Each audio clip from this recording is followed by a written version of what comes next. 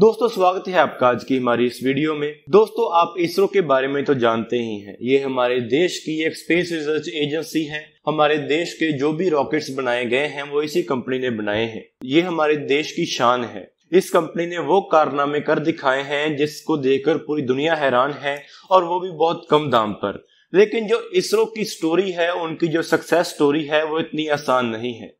उन्होंने बहुत मुश्किलें झेली हैं और ऐसे काम कर दिखाए हैं जिसने पूरी दुनिया को हैरान किया है। ऐसा ही काम उन्होंने तब कर दिखाया जब उन्होंने क्रायोजेनिक रॉकेट इंजन को बना लिया। क्रायोजेनिक रॉकेट इंजन एक ऐसी टेक्नोलॉजी है जो कि स्पेस लॉन्चेस में बहुत काम आती है। जो बड़े स्तर पर स्पेस लॉन्चेस किए जाते हैं, उनमें ये रॉकेट टेक्नोलॉजी काफ़ी काम आती है। लेकिन कोई भी देश ये टेक्नोलॉजी हमें देने के लिए तैयार नहीं था। अमेरिका ने हमारे ऊपर जो सैंक्शंस लगाए थे, उनके कारण ये टेक्नोलॉजी हमें नहीं मिल रही थी। रूस हमें ये टेक्नोलॉजी देने के लिए तैयार हो गया था, लेकिन अमेरिका ने उन्हें भी चेतावनी देकर रोक दिया कि वो ये टेक्नोलॉजी हमें ना दें। इसका कारण अमेरिका ये बताता था कि अगर ये टेक्नोलॉजी भारत को मिल गई तो भारत इस टेक्नोलॉजी की मदद से मिसाइल्स को बना लेगा। लेकिन इसरो ने उन्हें यह समझाया था कि ऐसे इंजन का इस्तेमाल मिसाइल को बनाने में नहीं किया जाता है। लेकिन क्योंकि अमेरिका को डर था कि अगर भारत को ऐसी टेक्नोलॉजी मिल गई तो उनका बिज़नेस कम हो जाएगा। इसी कारण से उन्होंने ये टेक्नोलॉजी हमें ना मिले, इसकी पूरी कोशिश की थी। आज हम इसी कहानी के बारे में बात करेंगे। ये कहानी शुरू होती है 1987 में। हमारे जो क्रायोजेनिक इंजन प्रोजेक्ट के हेड थे, वो एक हाई प्रेशर हाइड्रोजन प्लांट लगाना चाहते थे। इसके लिए उन्होंने इस मशीनरी को सप्लाई करने वाली कंपनी जो कि एक जर्मन कंपनी थी, जिसका नाम मैसर्स ग्राइशम था, उनके साथ बातचीत की। इस कंपनी के एक ऑफिशियल ने भारत आना था, लेकिन उन लेकिन उन्होंने इसरो को यह कहा कि मैं भारत कैसे आ सकता हूँ? भारत के रोड्स के ऊपर ही हाथी और सांप आम देखने को मिलते हैं। मैं वहाँ पर कैसे आऊँ? लेकिन बाद में इसरो ने ग्राइशम कंपनी के एग्जीक्यूटिव के साथ कॉम्प्रोमाइज किया और उन्होंने कहा कि आप मुंबई तक आ जाएँ और वहाँ पर हमारी इसरो की पूरी टीम वहाँ पर मौजूद होगी। जिस एग्जीक्यूटिव की हम बात कर रहे हैं, उनके नाम के बारे में तो हमें जानकारी नहीं है, लेकिन बाद में उन्होंने इस मशीनरी को बेचने का फैसला ले लिया, लेकिन फिर भी वो काफ़ी सवाल पूछ रहे थे। और उनका कहना था कि आपको ऐसी हाई प्रेशर हाइड्रोजन फैसिलिटी की ज़रूरत क्यों है? तब इसरो ने बताया कि हम इस टेक्नोलॉजी का इस्तेमाल रॉकेट्स को लॉन्च करने के लिए करेंगे। लेकिन इसके बाद उन्होंने कुछ ऐसी जानकारी दी जिससे इसरो को काफ़ी मदद मिली। उन्होंने बताया कि आप एक इंजन टैंक में हाई प्रेशर हाइड्रोजन को सीधा ही नहीं भर सकते, क्योंकि ये हवा में उड़ जाएगी। इसके बाद इसरो इंजीनियर्स को कुछ चीज़ें पता चली कि हाइड्रोजन को हाई प्रेशर के ऊपर कैसे डील करना है। इस वाक्य के दो दशकों बाद और दो दशकों तक चले इस डेवलपमेंट के बाद हमारे देश ने क्रायोजेनिक टेक्नोलॉजी को डेवलप कर लिया था। इस टेक्नोलॉजी के बाद हमें ऐसी कैपेबिलिटी मिल गई कि हम मीडियम साइज़ सैटेलाइट्स को जियो स्टेशनरी ऑर्बिट तक लॉन्च कर सके। इसके बाद हमारा देश उन गिने चुने शहर देशों के एक्सक्लूसिव क्लब में एंटर हो गया, जिनके पास ऐसी टेक्नोलॉजी थी। जब 1984 में इस इंजन टेक्नोलॉजी के ऊपर काम शुरू किया गया तो तब इस इंजन प्रोग्राम के हेड को क्रायोजेनिक इंजन के बारे में पता ही नहीं था। उन्हें यह नहीं पता था कि कैसे लिक्विड ऑक्सीजन या लिक्विड हाइड्रोजन के साथ काम किया जाता है और इसे कैसे इंजन के साथ इस्तेमाल किया जाता है। लेकिन उन्होंने ये सब काफ़ी जल्दी सीख लिया और 1988 में ही एक वन टन के प्रोटोटाइप इंजन को तैयार कर लिया। लेकिन ये इंजन अपने टेस्ट के दौरान ही फट गया था। उन्होंने बताया कि उन्होंने इस टेस्ट में ये गलती कर ली कि उन्होंने इस इंजन की नोजल को साफ़ करने के लिए लिक्विड नाइट्रोजन का इस्तेमाल किया और लिक्विड नाइट्रोजन नोजल के ऊपर जम गई और उसने नोजल को बंद कर दिया जिसके कारण ये एक्सप्लोजन हो गया। अगर हमें जियो स्टेशनरी ऑर्बिट पर सैटेलाइट्स को लॉन्च करना था तो हमें क्रायोजेनिक इंजन की काफ़ी ज़रूरत थी। लेकिन ये टेक्नोलॉजी काफ़ी डिफ़िकल्ट थी और ये आज के जेट इंजन के जैसे ही एक बहुत ज़्यादा क्लोजली गार्डेड सीक्रेट था। इंडिया को ये engine American firm General Dynamics ने ऑफ़र किए थे, लेकिन वो काफ़ी हाई दाम पर ऑफ़र किए जा रहे थे। ऐसे ही फ्रेंच ने भी हमें ये टेक्नोलॉजी ऑफ़र की और ऐसे ही रशिया ने भी ये टेक्नोलॉजी हमें ऑफ़र की। रशिया तब बहुत बुरे समय से गुजर रहा था और उन्होंने ये इंजन हमें बहुत सस्ते दाम पर ऑफ़र कर दिए। हमारे देश ने रशिया के साथ 1991 में दो इंजन के लिए और इसकी टेक्नोलॉजी के लिए एक डील साइन की थी। सभी कुछ बहुत अच्छा चल रहा था, लेकिन बहुत जल्द अमेरिका ने रशियंस को यह दबाव डालना शुरू कर दिया कि वो इस डील को खत्म कर दें। उनका कहना था कि ये इंजन न्यूक्लियर मिसाइल्स को डेवलप करने में इस्तेमाल किए जाएँगे, लेकिन इसरो को ये इंजन चाहिए थे और इसकी टेक्नोलॉजी भी चाहिए थी। हमारे इसरो के चीफ ने अमेरिका के साथ बातचीत करनी शुरू की। उनका कहना था कि क्रायोजेनिक इंजन को मिसाइल में इस्तेमाल नहीं किया जा सकता है। लेकिन अमेरिका के बहुत ज़्यादा स्ट्रॉन्ग कमर्शियल इंटरेस्ट थे, जिसके कारण उन्होंने भारत को टेक्नोलॉजी देने से मना कर दिया। इसके बाद राव जी ने क्रिश्चियंस के साथ निगोशिएट किया। उन्होंने कहा कि हमने आपको पूरा पैसा दे दिया है। लेकिन आप इसने पैसे के लिए हमें सिर्फ़ दो इंजन दे रहे हैं। और आप हमें टेक्नोलॉजी भी नहीं दे रहे हैं। इसके बाद इसरो को सेवन इंजन रशिया से मिल गए।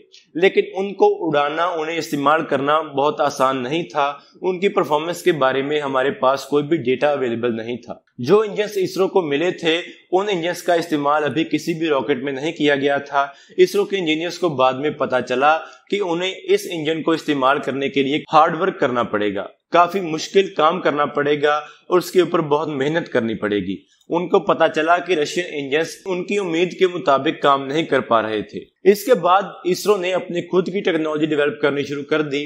अगर रशियन इंजन को उड़ा पाना हार्ड था तो उनके इंजन डिज़ाइन को कॉपी करना उससे भी मुश्किल था। रशिया ने ऐसे डिज़ाइन 1960s में बनाए थे, लेकिन उन्होंने इस इंजन को टेस्ट नहीं किया था, क्योंकि शायद वो अभी तक फ़्लाइट रेडी नहीं थे।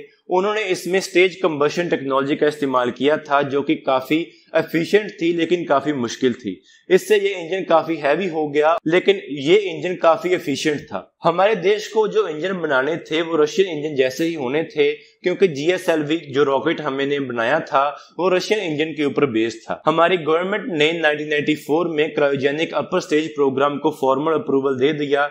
इस इंजन प्रोजेक्ट के लिए 300 करोड़ का बजट रखा गया।